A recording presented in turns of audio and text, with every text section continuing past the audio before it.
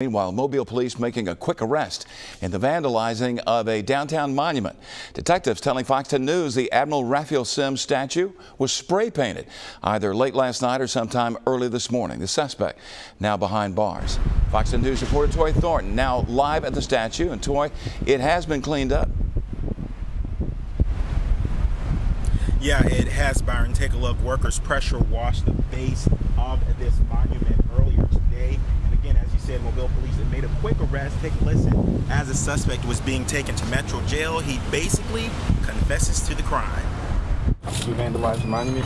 Yes. A confession from 20 year old Mitchell Bond, suspected of doing this to a nearly 120 year old statue, a Confederate monument in downtown Mobile. The, the ideal is that people understand is that uh, we will look, we will use every means necessary to make sure we identify those individuals in our community that, community that are committing crimes uh, against uh, peace and good order. The defacing of the Admiral Raphael Semmes monument stirring emotions.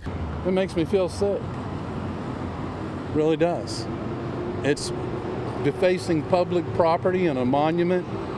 Um, I just don't. It's criminal behavior. The statue itself um, is is an inadequate representation um, of the history. David Teufel says he's a native of Mobilian, and it hurts to see things that mean so much defaced. Disagree peacefully. That's what our system's all about.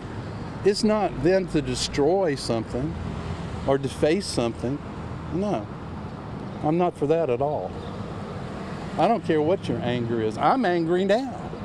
But I'm not going to go down and find something that's dear to somebody else and deface it and destroy it because I'm angry. Now, in terms of moving this statue, city spokesperson George Talbot says it has to be a collaborative effort, and he says they are listening to the community's voice as a part of this process. Personally, I would take them down.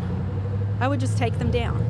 Um, I think that they could be replaced by statues that um, that rep, that are more representative of what happened. And then it's a signal of rage, and rage is a signal of pain. Pain is a signal of having been wounded. So whoever did it um, had something to say. Now, Battiste tells us they don't know why Bond decided to do this to the monument. When asked why he believes this is a continuation of the protests from the other day, he's, he referred me to Bond's Facebook page.